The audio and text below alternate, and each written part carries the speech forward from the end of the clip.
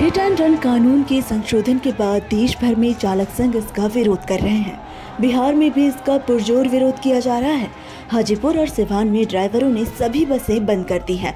वे सड़क जाम कर प्रदर्शन कर रहे हैं। इधर यात्री गाड़ी नहीं मिलने से परेशान दिख रहे हैं। ड्राइवरों ने बसों को स्टैंड में खड़ा कर दिया और कानून वापस लेने की मांग कर रहे हैं। कानून वापस नहीं होने पर हड़ताल जारी रखने की बात भी कही जा रही है। हाजीपुर में विरोध के दौरान रेलवे पुलिस और सड़क जाम कर रहे ड्राइवर्स के बीच बहस हो गई। बात इतनी बढ़ गई कि रेलवे पुलिस के सिपाही ने अपना राइफल निकाला और ड्राइवर पर तान दी, जिसके बाद वहाँ मौजूद सभी ड्राइवर उग्र हो गए और रेलवे पुलिस से मारपीट शुरू कर दी। जैसे तैसे पुलिस ने सिपाही को गाड़ी में बैठाया और वहाँ से निकल गए। इधर स्थानीय जनप्रतिनिधि सुभाष कुमार निराला ने आक्रोशित ड्राइवरों को शांत कराया और उनसे शांति से प्रदर्शन करने की अपील की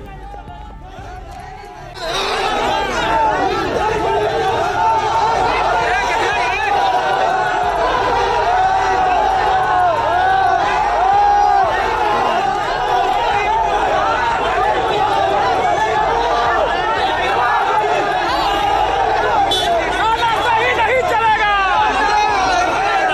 पुलिस तरह सही नहीं चलेगा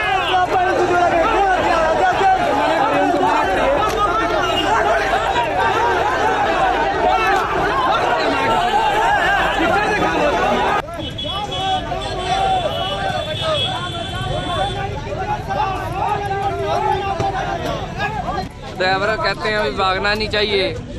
तो उसको जो एक्सीडेंट हुआ, उसको उठाना चाहिए। तो उठा- ड्राइवर उठाएगा तो पब्लिक मार देगी। तो जो कोई भी गाड़ी वाला जानबूझ के थोड़ी एक्सीडेंट होता है। ये तो ऐसे किसी न किसी की गलती होती है मोटरसाइकिल की होती है, या कैसे। तो वो गलती हो जाती है। क्या कानून बनाया गया है? कानून मैं ये कहता हूँ ये सरकार को कानून बदलना चाहिए। जो ड्राइवर को 10 साल की सजा और 10 साल 10 लाख जुर्माना देगा तो गाड़ी कौन चलाएगा? कोई और धंधा कर लेंगे चोरी करके जे जाना ही अंदर है तो कोई और काम करके जाएँगे अंदर। ऐसे थोड़ी गाड़ी चलाएँगे तो 10 साल के लिए अंदर चला जाएँगे। हम ये कहते हैं ये कानून हटाना चाहिए।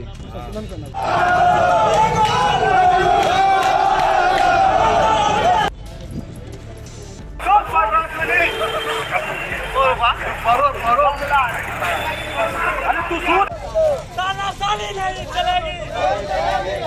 प्रदर्शन में शामिल है, क्या है हम लोग प्रदर्शन में इसलिए शामिल है कि मैं सुभाष कुमार निराला समाज सेवी और हमारे जनता गरीब गुरबा जो ड्राइवर है, उनका ऐसा कानून लाया गया है, उनको जीने का मतलब एक तो ड्राइवरी करते हैं, पाँच हज़ार, दस हज़ार, पंद्रह हज़ार के महीना पर एक एक महीना घर छोड़ के घर से बाहर रहते हैं और जब घर के लौट के आएँगे, रास्ता में कहीं दुर्भाग्यपूर्ण एक्सीडेंट हो गया। कोई आदमी मर गया, उसको कहते हैं कि उठा के ड्राइवर को हॉस्पिटल पहुँचाना है। यदि वहाँ गाड़ी रोक के हॉस्पिटल पहुंचाएगा तो वहाँ की जनता उसे ज़िंदा रहने देगी। एक तो मर गया, दूसरा भी हॉस्पिटल जाएगा। ये पहला गलत कानून, दूसरा कि उसको मुआवजा ड्राइवर को देना होगा। अन्यथा दस साल की उसकी सजा होगी। अगर ड्राइवर ही मुआवजा देगा तो इंश्योरेंस कंपनी क्या करेगी? जो प्रत्येक साल दस हज़ार से लेके लाख लाख रुपये तक इंश्योरेंस लेती है, वो कंपनी क्या करेगी? बचा कुछ और सरकार जो अपनी चला रही है, किसी का हत्या हो गया, किसी का मर्डर हो गया, किसी का दुर्घटना में हो गया, या ड्राइवर का ही हो गया, दो गाड़ी टकराती है उसमें ड्राइवर मरता है, तब क्या होगा? उसके लिए तो कोई कानून नहीं है। पब्लिक चल रहा है, किसकी गलती से कौन मर गया, ये कौन जानता है? तो मुआवजा देना सरकार का काम है, हम लोग वोट देकर आपको जिताए हैं, प्रधानमंत्री बनाए हम लोग की हत्या करने के लिए, फांसी चलाने के लिए, कि ड्राइवर जाएगा जेल में, और उसका बच्चा भूखे मर जाएगा। एक महीना, छह महीना, दस साल कैसे ज़िंदा रहेगा कैसे ज़िंदा रहेगा? ये मोदी सरकार, ये जो हम लोग गुलामी की अंग्रेज़ जब शासन करता था, उस समय भी ड्राइवर को ऐसा कानून नहीं था एशियन क्रॉस को खड़े खड़े थाना से बेल होता था। लेकिन आज हम लोग देश आज़ाद है।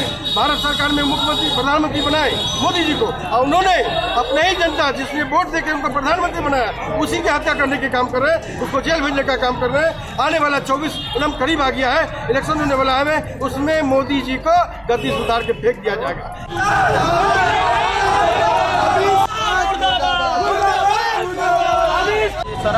दुर्घटना में किसी को मौत हो जा रहा है तो ड्राइवर के द्वारा सात लाख रुपया जुर्माना और दस साल के सजा।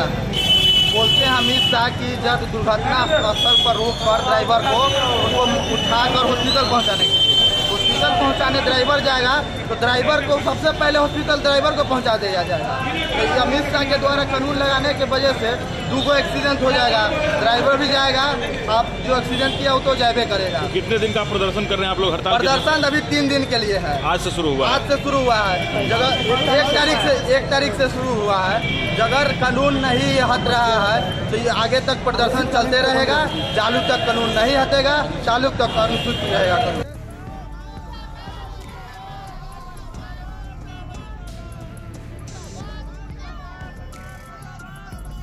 कहेंगे परेशानी हो रही है। आने जाने में बहुत परेशानी हो रही है। क्या इन लोगों का मांग है? सरकारी लोगों की मांगों को पूरी पूरी करें जो आने जाने वाले यात्री हैं उनको असुविधा ना हो है ना? कोई हॉस्पिटल जाने वाला है कोई कहीं जाने वाला है है ना? तो ये सब चीज़ पे ध्यान देना चाहिए आगे प्रशासन को। जो भी इनकी मांग है बढ़ाना चाहिए आगे। आगे बात। अपना नाम बता दीजिए। पार्टी कब मेरा नाम साधु हुआ यही कहना है कि जो ये जुर्माना लगा हुआ है चाहे जो कुछ भी सजा की बात है सजा ये सब वापस लेना चाहिए सरकार को। हम यही कहना चाहते हैं। दूसरा बात है ये कि मैडम लोग आती हैं हम ही लोग के ऊपर है। जो स्कूल का स्टूडेंट बच्चे हैं वो लोग हम ही लोग के ऊपर हैं। क्या तो बीस रुपया देते हैं? तो हम लोग भाई कहाँ से ऑटो चलाते हैं? कहाँ से दस लाख रुपया देंगे? हम लोग को भी आगे पीछे बच्चा है। बच्चा लोग को कैसे पालन पोषण करेंगे? यही कहना है कि सरकार, सरकार- अपनी पूरी जो सरकार जो भी है गलत है हाँ, जो निर्णय लिए गलत है। जो भी है कितने दिन की हड़ताल है? हड़ताल तो एक तारीख से तीन तारीख तक था लेकिन अब देखिए कहीं बढ़ भी सकता है। इसलिए ये मेरे ड्राइवर युवा के ऊपर है हमारे ऊपर तो है नहीं। वो लोग आगे से जैसे आदेश जारी करेगा वैसे हम इधर करेंगे। ये बात जो है यही कहना चाहते हैं। अपना नाम बता मेरा नाम रंजीत कुमार राम मेरा घर महापुर। कानून से कहीं ना कहीं हादसा कम होने का संभावना है कि नहीं? हादसा तो कम होना क्या चलाते हैं। हम टोटो चलाते हैं। नाम क्या है? सत्यकाल काम हुआ। क्या परेशानी है? बताइए। क्या परेशानी है? आप लोग मुख्य सड़क को जाम किया आखिर परेशानी क्या है? परेशानी ये है कि जो अभी के टाइम में नियम निकला हुआ है उससे हम लोग सेटिस्फाइड नहीं हैं।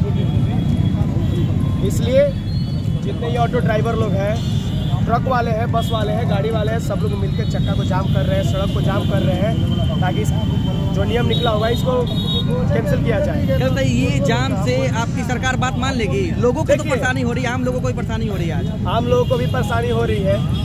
आज अगर ड्राइवर एकता हो गया है सारा ड्राइवर एक साथ में है तो अभी सड़क पे सबको परेशानी हो रही है। कल तक रोड पे टोटो ड्राइवर हो पिकअप ड्राइवर हो ट्रक ड्राइवर हो या कोई भी ड्राइवर हो उसको माँ बहन सब एक करते थे।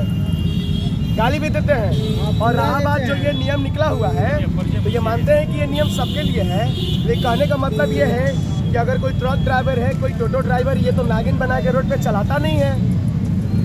आज के डेट में पाँच लाख रुपया का अगर आप कार खरीदते हैं तो उसमें गोप्रो कैमरा देता है, दो एयर बैग देता है, ताकि एक्सीडेंट होने से पहले वीडियो रिकॉर्ड हो जाए, कार वाला बच जाए। पचास लाख रुपये, अस्सी लाख रुपया का गाड़ी आता है ट्रक पंद्रह लाख रुपया का आता है पिकअप लेकिन उसमें कोई ऐसा सेफ्टी फीचर ड्राइवर के लिए नहीं है। ना एयर बैग है कैमरा है। ना कैमरा है ना कोई चीज़ है। और ड्राइवर पूरी रात जगता है अपने जान पे खेल करके मंडी पकड़ाता है खाना लाता है फल लाता है दवाई लाता है दूध लाता है। साला दो मिनट लेट हो गया आम आदमी के कारण तो ड्राइवर का पैसा कट जाता है इनाम कट जाता है। तुम क्या कर दिया? अगर दस मिनट का समय है गाड़ी आ रहा है टायर पंचर हो गया तो मंडी वाला बोलता है कि तुम सो गया था। अरे भाई हम लोग इंसान नहीं हैं। तो आप चाहते क्या है ये बताइए। हम ये चाहते हैं कि अगर नियम है तो सबके लिए है तो नियम को अच्छे से पालन किया जाए। नहीं तो इस नियम को हटाया जाए। पाँच हज़ार रुपया पे हम लोग गाड़ी चला के दस लाख का जुर्माना नहीं भरेंगे। सरकार को हम लोग गाड़ी नहीं चलाए सरकार अगर इस नियम को नहीं नहीं तो हम लोग को भी एक लाख रुपया महीना चाहिए। नहीं तो गाड़ी नहीं आपका अपना नाम बताइए। हमारा नाम एम डी अरमान मलिक पड़ेगा। क्या करते हैं? हम ट्रक चलाते हैं। प्रभात खबर डॉट कॉम विश्वास वही रफ्तार नहीं